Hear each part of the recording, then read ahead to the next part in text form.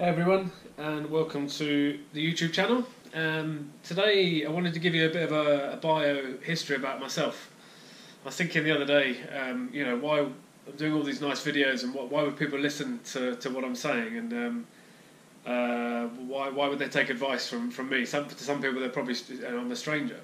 Um, so I thought I would just give you a little bit of a, my life in, uh, history in sport just so you can um, just know a little bit more about me, really, and then hopefully sort of um, give you a bit more, bit more backing as to some of the advice and some of the videos I'm doing. So, and then I thought, how am I going to do this? I thought, well, we'll just start at the beginning. So, born and bred here in Hertfordshire, um, went to a local school till I was uh, 13. I played a lot of sport there, played a lot of rugby in the winter and athletics in the summer. Um, got my school colours there and won a few other awards as well. I was pretty good at sort of all rounders, 100, 100 metre sprints, javelin. Um, I got into 1500 metres actually, that was a, that was a good event for me. Um, then I went off to when I was 13, I went off to boarding school, um, all the way through to my A levels. Again, played lots of sport. Um, academically, I got better. I will admit I did struggle a lot with um, dyslexia and uh, and just preferring sport over over academics. Um, again, I was playing lots of rugby there. Played uh, for a lot of the, all the first teams for every year, all the way through to the sixth form. Got my school colours.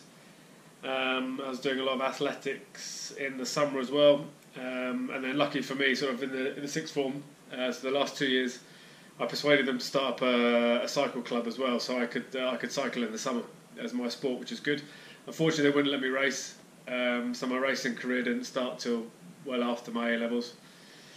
Um, but then I did I did start cycling when I was about about thirteen, um, mainly because uh, of my dad.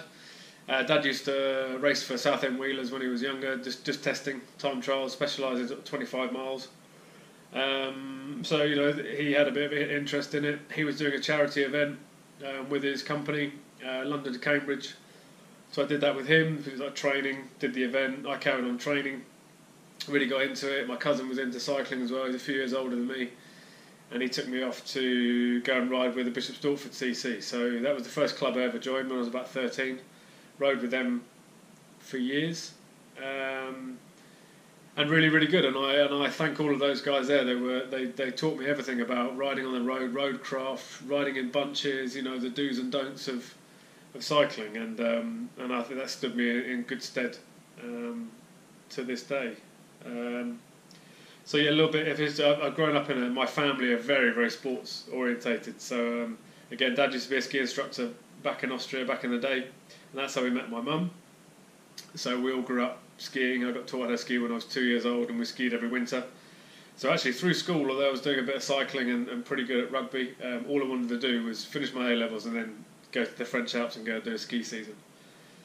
Um, so I've got to thank Dad for, for my skiing and my cycling, which is brilliant.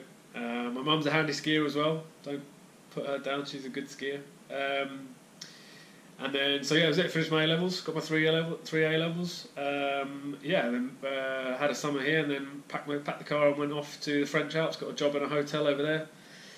Did the whole winter there. Came back, um, cycled through the summer just for fitness. Um, I did have a crack at uh, Loughborough University. I got good grades, uh, good enough grades to get me into university. Um, but it was the same kind of thing. The sports was fantastic. I was playing first team freshers uh, and first un- first team under 21s, under 23s for the university. Um, sports side of things was going really really well.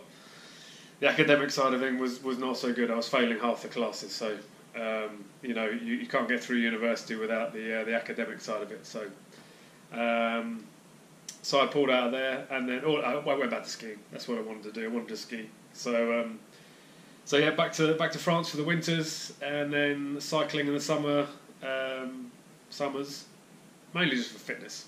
Um, I just loved it, and I'd stay out there for a few weeks at the end of the winter and ride around the Alps, do out the Galibier, um, Alpe d'Huez, Izoard, um, ride down to Gap, things like that, and then come back and I'd mate over here that I was training with in the summer back here in the UK, he um, he said I want you to come and do a local race. So I went and did um, Tuesday night, ran at North Weald Airfield. I think I got seventh. Uh, that was the first race I ever did. loved it, and then just snowballed from there. Just you know, just really, really got into it. Started doing road races, circuit races, um, and I would do that all summer, um, but just for fun, really. And then knowing it was for fitness for skiing, go back to France for the winter, um, and then just come back and forth. And I kept doing that for, for quite a few years. Did do a few race ski races. Um, nothing to shout about though. Um, probably the biggest race I did was a free ride comp in, in Slovakia. I got through to the top to the super final um, and got a top ten placing, but you know that, I didn't do many comps. Um, the cycling in the summer was, was, was where it was at. Um, I think I did finish my last season winter 2006 2007 came back to the UK got a proper job here working for a ski company as a salesman um, and then the racing uh, went on from there. Raced in Bishop, Bishop for Colours for, for a number of years.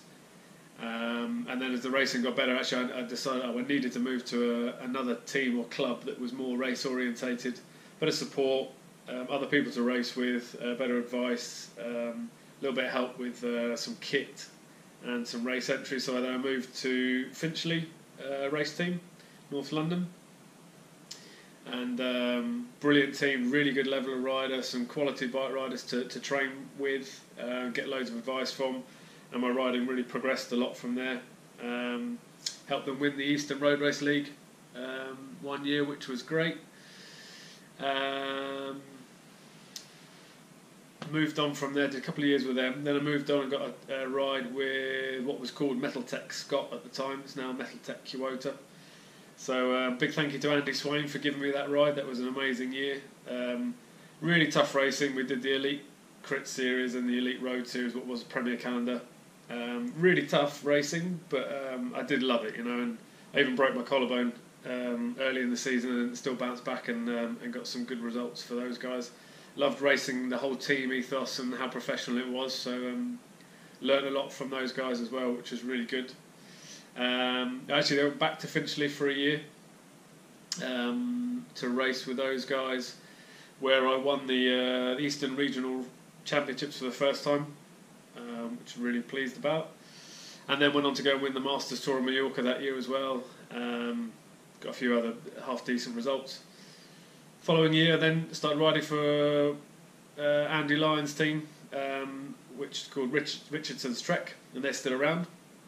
And again, thank you to Andy Lyons for, for giving me a ride there. Really professional team, really nice guy. He was really, really helpful. Um, really well run team, some good riders. And I wish those guys all, all the best for the future because they're still going. They've got some some uh, some really good young riders in there, so look out for them. Um, yeah, and I you know won a handful of races there. One of them being I went back and uh, defended my title at the uh, regional championships. So um, really pleased with that. Uh, went back to Mallorca, nearly got um, the win again in the Masters Tour over there. Had to settle for second um, on countback, which was close. Um, but again, just you know, just loved it. Really professional, really good level of racing. Raced for them for two years. Um, nearly got the regional championships for the third year in a row. I got I got third. At least I got on the podium, but my teammate won it. So, you know, again, it was a, it was a great race. Um, so yeah, my career, my cycling career, just had a little count up. I had over 130 top 10 finishes um, in that in that span of, of road racing. So really consistent. Um, did really well with time trials as well, and uh, a couple of course records, a lot of PBs throughout the years and did well at track as well. I've won uh, medals at the uh, national team pursuit, silver, masters, scratch race, bronze. Um, so you can probably see a couple of them hanging up behind me. So um, really good all rounder and had a really good career uh, through cycling and learnt a lot, which was good. Uh, 2015, I got sanctioned with a, a four-year drug ban uh, for an adverse analytical finding. Um, long and short of it, it's a, a, negative, a positive test for a banned substance. So I'm currently serving that. I've just got over a year left on that.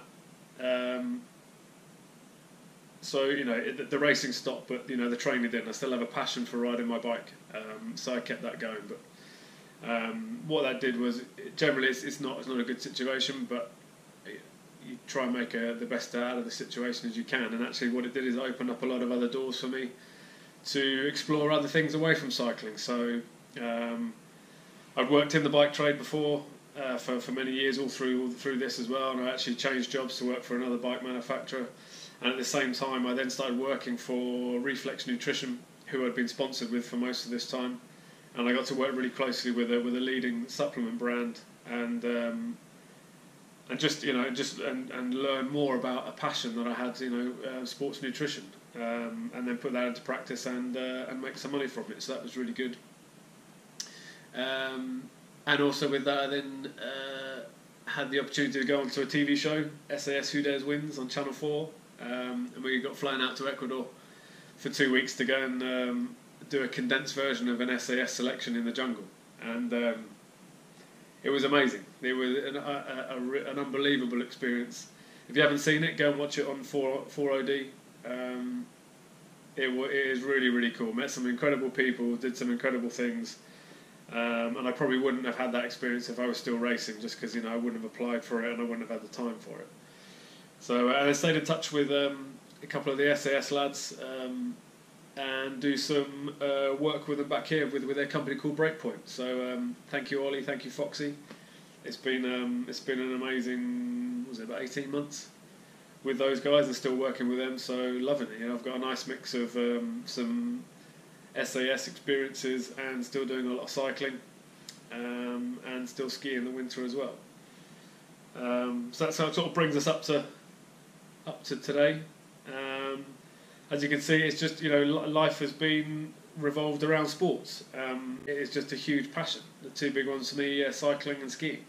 Um, you know, if I can make a lifestyle out of it, um, I will do, and that's what I'm going for. So why would you why would you listen to me and take advice from me? Um, no, at the moment I don't have any qualifications in all of this, but I am in the process of it. So I will get a coaching qualification, I'll have a personal training qualification, and I will have a sports nutrition qualification. So that just cements everything that I've learnt over the years, and, uh, and actually has nice pieces of paper to say that I that backs up that I know what I'm talking about. But um, hopefully you can see that I've just had years and years of experience in different sports and competing at a, a very high level and more importantly actually is training with the right people. So um, cycling wise I've been coached by um, in my opinion one of the best coaches out there who worked for the national squad GB squad um, and also raced at world championship level himself. Um, and you know he's so knowledgeable about everything and knowledgeable.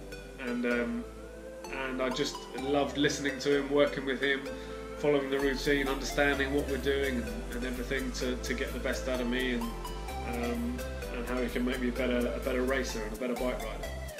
Um, so that was interesting. And then previous to that, I've done a lot of uh, gym work and things for years with uh, bodybuilders, ex-bodybuilders, competing bodybuilders, uh, some people that have um, trained, uh, competed internationally.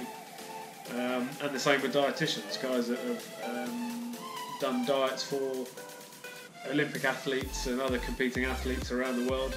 Um, and just because it's a passion for me, listening to what they've got to say and just asking so many questions whilst you're actually training with them or just sitting there talking and trying to absorb all the information. I did, I just remembered everything and, and I even wrote a lot of it down, workouts and diets.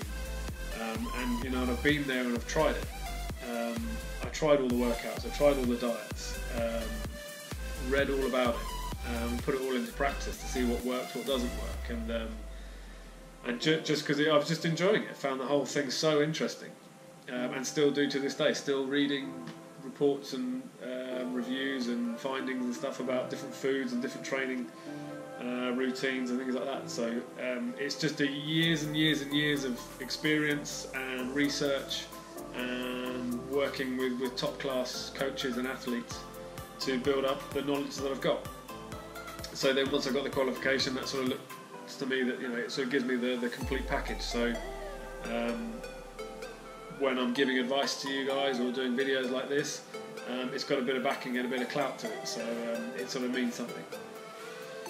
So hopefully that sort of explains a little bit, and it's a bit of a condensed, bit quick, but it sort of explains a bit more about who I am, what I've done, and um, and hopefully gives you a little bit more confidence uh, in some of the advice that I'm giving you. Uh, I've also been asked quite a bit about, uh, you know, they see me wearing Haste clothing. Um, long and short of it, I don't want to give too much away, but yes, it's a, it's a project that I'm working on at the moment, um, and it will all be revealed in, in due time. But I don't want to ruin the surprise for you. But uh, you know, big things coming in the future, and um, hopefully you guys will want to get involved with that. So. Um, as always, yeah, thanks very much for watching. Thanks very much for listening. Um, it'd be good if we can get a few more subscribers and, and, uh, and share, share these videos around with your friends and family. And uh, please feel free, as always, if you've got any questions, uh, fire them across. More than happy to answer them. So um, stay healthy, keep training, and uh, we'll see you in the next video.